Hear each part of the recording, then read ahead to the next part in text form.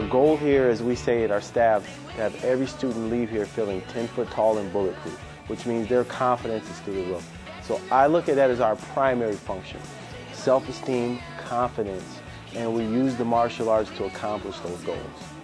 Once they start to develop and the parents see they care about their grades now. They actually care about being respectful. He went out of his way to clean his room. They're going out of their way to say, yes, ma'am, when they never did before. This child is not just training here, they they're becoming a martial artist, a complete martial artist. And when that happens, the parents are very happy. They, they see the character development taking place.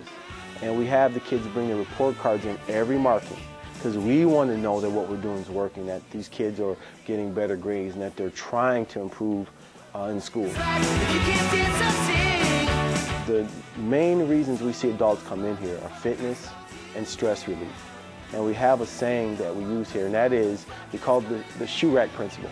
And that says, when you take your shoes off, leave all your problems in your shoes. When you step on that mat, don't bring your problems with you.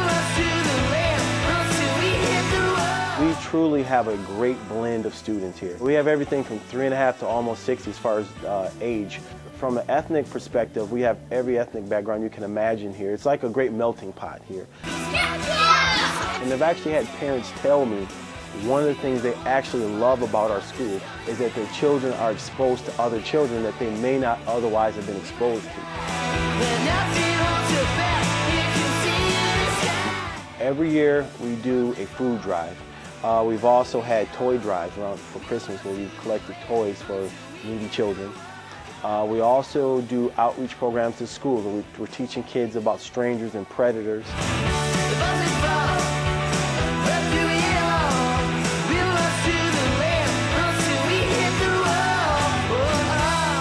Well, you know the TV show Cheers.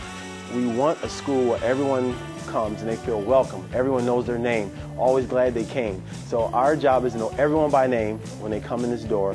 Even if it's a hard name, we practice on how to say everyone's name. We make sure we shake their hand, we greet them, we give them a smile because we want a cheers type atmosphere here.